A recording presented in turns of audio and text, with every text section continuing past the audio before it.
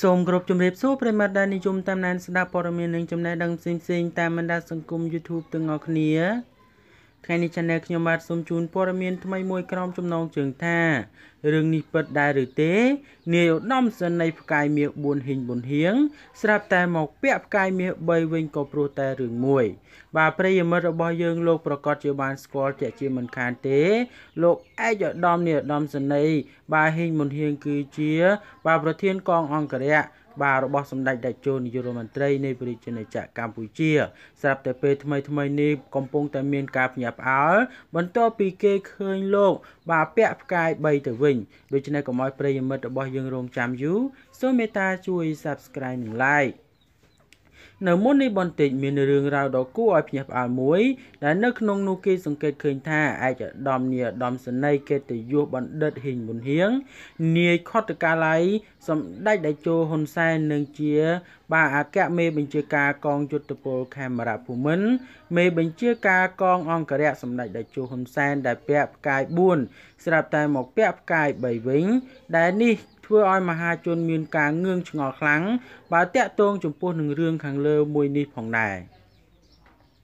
យោងទៅតាមគេហទំព័រ Facebook Page របស់លោកខាន់ច័ន្ទសុផលក៏បានលើកឡើងចំពោះរឿងនេះនិងបានប្រាប់ឲ្យដឹងដែរនៅមុនពេលបន្តិចនេះថាពិតជាមានការបាគួរឲ្យគោរពនិងកោតសរសើរស្រឡាញ់ទឹកចិត្តឯកឧត្តមឧត្តមសេនីយ៍ហ៊ីងមុនហៀងខ្លាំងណាស់ចំពោះរឿងនេះនៅក្នុងកិច្ចប្រជុំមួយនៅបញ្ជាការដ្ឋានកងអង្គរៈ បាទក្រុងតាខ្មៅឯកឧត្តមហ៊ីងប៊ុនហៀងកំពុងតែប្រជុំសុកសុកស្រាប់តែផ្កាយមាស4បាទលោកក៏ដើរចូលទៅក្នុងបន្ទប់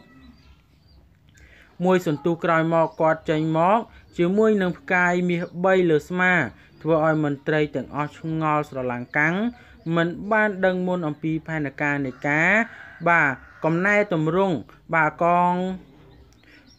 កងតប បាទនឹងកងយុទ្ធពលកម្ពុជារបស់ជាតិសម្ដេចតេជោហ៊ុនសែននាយករដ្ឋមន្ត្រីនៃប្រជាណាចក្រកម្ពុជានាយឧត្តមសេនីយ៍ផ្កាយមាស4នឹងមានពីររូបគត់សម្រាប់កងទ័ពក្របខ័ណ្ឌក្រសួងការពិជាតិក្រៅពី បាទក្រៅពីនឹងនឹងសូមឲ្យ ស្ម័គ្រចិត្តទម្លាក់ពី4មកត្រឹម3 2មកត្រឹម1អគ្គនាយកគឺនៅត្រឹម